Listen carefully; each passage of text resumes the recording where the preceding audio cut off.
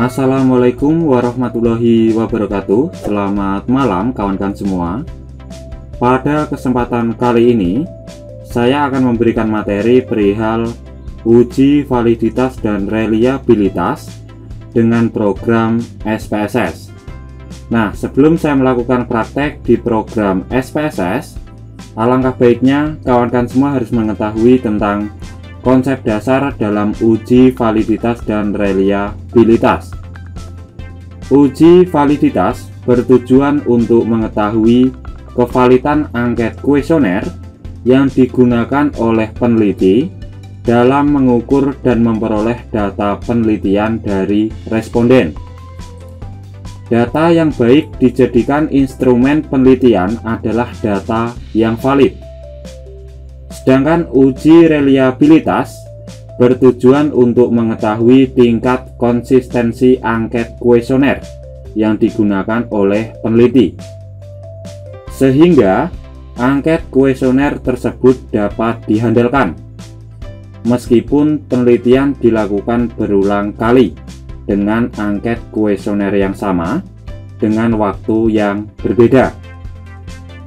Uji reliabilitas dilakukan setelah item soal pada kuesioner dinyatakan valid. Angket kuesioner penelitian dikatakan baik dan berkualitas apabila sudah terbukti validitas dan reliabilitasnya. Nah, langsung saja saya akan menuju ke program SPSS.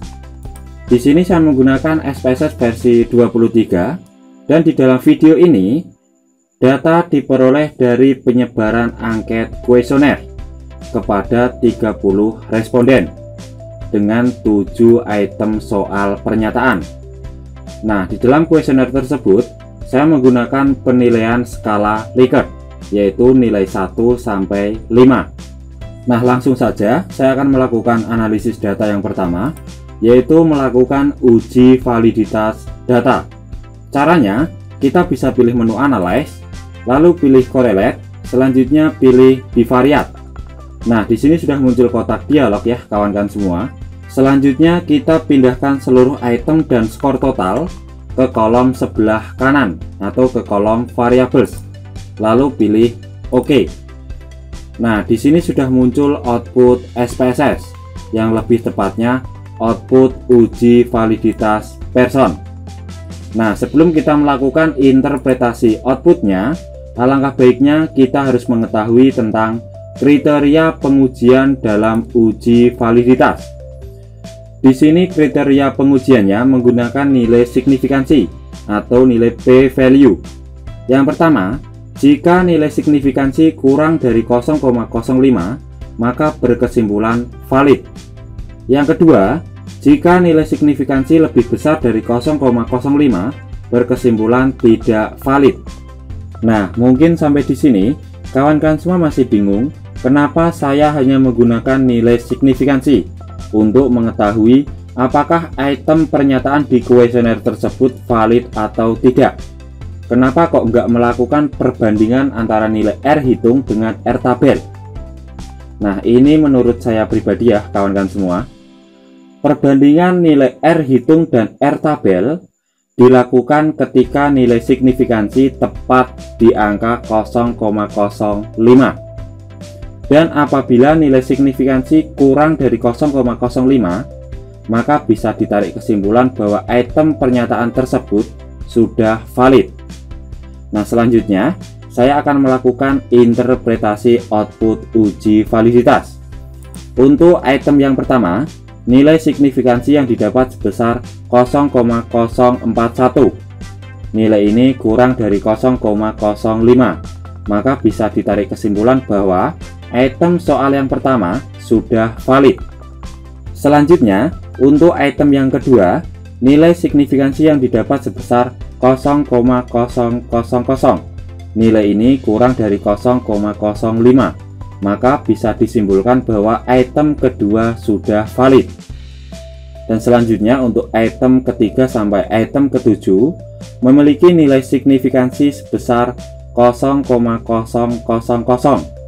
Nilai ini kurang dari 0,05. maka bisa ditarik kesimpulan bahwa item 1 sampai item ke-7 sudah valid.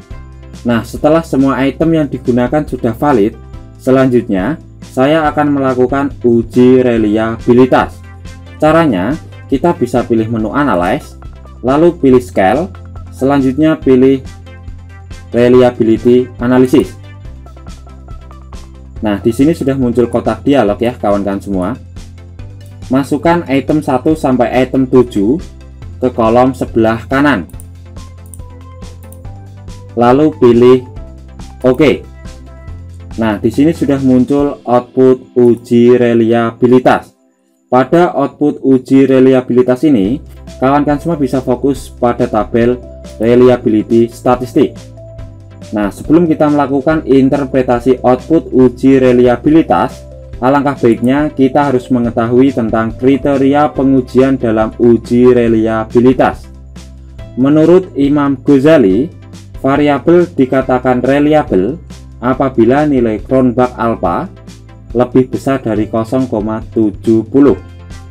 Nah, di sini di dalam output ini, nilai Cronbach alpha yang didapat sebesar 0,732 nilai tersebut lebih besar dari 0,70 yang artinya variabel yang digunakan dalam penelitian sudah reliable.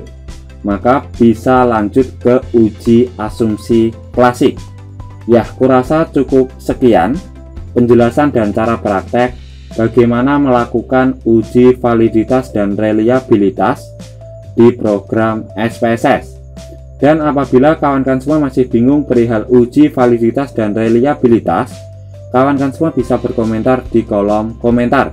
Dan jangan lupa untuk like, subscribe, dan share video-video di channel YouTube saya. Ya saya akhiri. Wassalamualaikum warahmatullahi wabarakatuh.